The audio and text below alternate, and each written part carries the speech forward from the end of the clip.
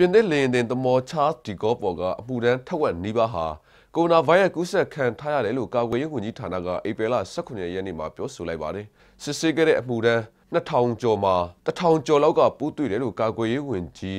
Flof Pali ကပြောဆိုခဲ့ပါတယ်။စုစုပေါင်းအမှုတန်း945ယောက်ကယောဂလက္ခဏာ